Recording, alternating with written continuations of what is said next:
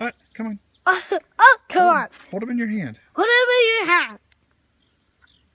He has claws. He, his claws can't hurt you. Come on, Michael. Hold him in your hand. He's not. He's not comfortable that way. He's slimy. Mm-hmm. Is he slimy? Here, hold him so I can see him in the camera. Put him up in front of the camera, Michael. Which? There you go. Uh,